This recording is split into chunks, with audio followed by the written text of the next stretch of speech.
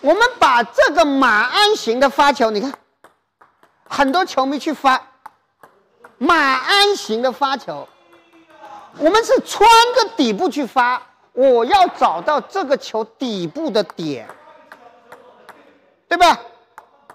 越发到这个点，我的球越穿过来就越转，这是找点。至于发球失不失误，或者发发下网。或者发不发不走，那是其他的问题。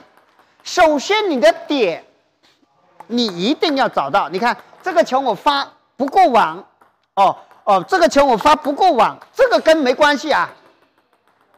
这是你的这个点找不找不，但速度慢没关系的。这样这样子，如果你们这样子发速度慢，你找到点，我们接下来发快一点点就可以了。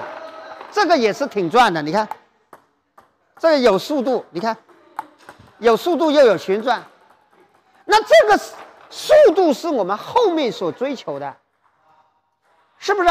你先不要管它的速度，我们先找点。很多球迷朋友学球一下子要达到。